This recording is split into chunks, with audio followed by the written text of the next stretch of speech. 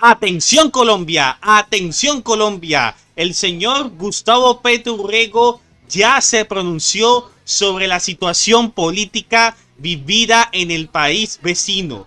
Y es que ya se establece las claves del mensaje del presidente Petro frente a la crisis, luego de varios silencios en donde solamente se manifestaba principalmente Luis Gilberto Murillo, ministro de Relaciones Exteriores o llamado canciller, resulta y pasa, señoras y señores, que Petro planteó las graves dudas en torno al proceso electoral que dio la victoria a Nicolás Maduro según un dictamen sin pruebas del Consejo Nacional Electoral de Venezuela y que es calificado como fraude.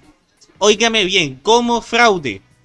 En, de la, por parte de la oposición encabezada por Edmundo González Urrutia y María Corina Machado. La posición quedó clara en un extenso tweet en el que el mandatario publicó y fijó en la mañana de hoy con el que rompió un largo silencio frente a la profunda crisis que atraviesa el país bolivariano. La tardanza, ¿por qué se explica, señoras y señores? Y no necesariamente porque comulgue con Nicolás, con, perdón, con Nicolás Maduro. No con, sencillamente porque Colombia es el, el más afectado por el tema del terremoto político que sacude al vecino país el cual genera un éxodo que inicialmente llega a este país vecino. Dice tal cual, esto no puede ser, suceder en nuestro país hermano y debe terminar definitivamente en Colombia. Cualquier cosa que suceda en Venezuela afectará a Colombia y viceversa. Como el gobierno venezolano ha ayudado a la paz de Colombia, ahora este gobierno que represento quiere ayudar a la paz de Venezuela, dice el jefe de Estado colombiano. Hasta ahora Colombia ha caminado por el sendero de la prudencia, solo a través de los responsables de la política exterior, mediante el señor canciller en su momento, Luis Gilberto Murillo, con varias comunicaciones importantes y Petro hoy. En pocas palabras, Colombia no reconoce la victoria que se adjudica Nicolás Maduro Moros, Dice el analista Gabriel Sinfuentes, es un mensaje ponderado en línea con lo que ya se había expresado por la Cancillería. A diferencia de otros países, el defecto de las elecciones en Venezuela y sus resultados impacta de manera particular a Colombia en tema de fronteras, migración, paz, dependencia energética, grupos armados, narcotráfico y afinidad ideológica. Por lo que salir en caliente a desconocer o reconocer los resultados podría tener un impacto negativo. Entonces, esa es la situación. Y esto fue lo que dijo Gustavo Petro, si no estoy mal, el día de hoy. Una invasión aquí, otra invasión allá, una guerra entre hermanos, ucranianos y rusos son el mismo pueblo. Como si nos matáramos colombianos y venezolanos. La misma historia, la misma lengua, las mismas raíces. En la historia humana. ¿Por qué se están matando? Por la codicia por el gas y por qué invadieron a Libia y a Irak, etcétera. El petróleo y no se nos está acercando la guerra en el vecindario y no nos estamos dando cuenta. No hay submarinos en el Caribe y, y barcos de esos destructores y porteaviones de ambos bandos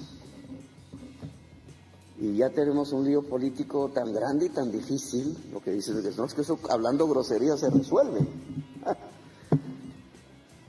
Nos podrían hacer enfrentar militarmente a colombianos y venezolanos. Y de ahí quién se recupera, cuántas generaciones, si nunca nos hemos matado entre nosotros.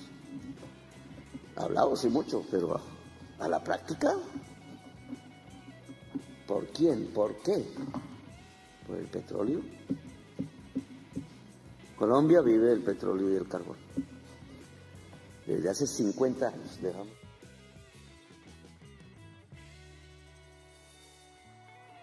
Seguimos acá. Y es que rompió su silencio y dice, dice que las graves dudas en torno al proceso electoral venezolano puede llevar a su pueblo a una profunda polarización violenta con graves consecuencias de división permanente de una nación que ha sabido unirse muchas veces en su historia. Dice allí que mientras se realiza ese proceso, la tranquilidad puede llegar a las fuerzas ciudadanas opuestas y detener las violencias que lleven a la muerte hasta que termine el escrutinio y termine oficialmente las elecciones. Proponemos respetuosamente llegar a un acuerdo entre el gobierno y la oposición que permita el respeto máximo a la fuerza que haya perdido las elecciones. Dicho acuerdo puede ser entregado como una declaración unilateral del Estado al Consejo de Seguridad de las Naciones Unidas. Entonces, en ese orden de ideas, les presentamos la respuesta de Nicolás Maduro frente a lo manifestado por el presidente Gustavo Petro.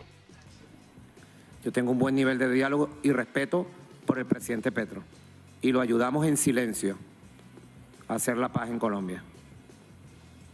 Nunca opino de los asuntos internos de Colombia, nunca. Ni me meto en las negociaciones que pudiera hacerlo.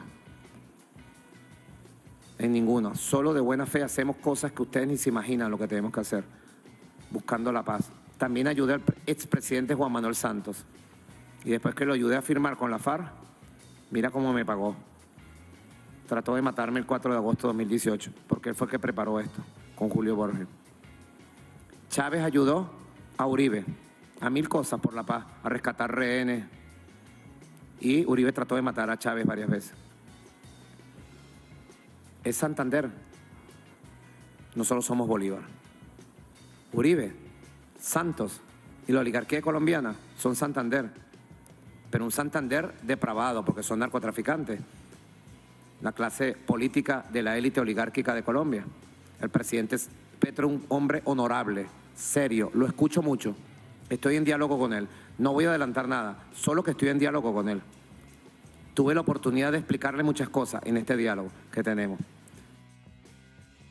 Sí, señores, así están las cosas. Ahora el turno es para ti. ¿Tú qué opinas de todo esto? Los estamos leyendo en los comentarios. Este es el canal de YouTube del Dato. Les invitamos a que se suscriban, a que le den la campanita de las notificaciones, a que le den like, a compartir y comentar. Sin más preámbulos, buen día, buena tarde, buena noche.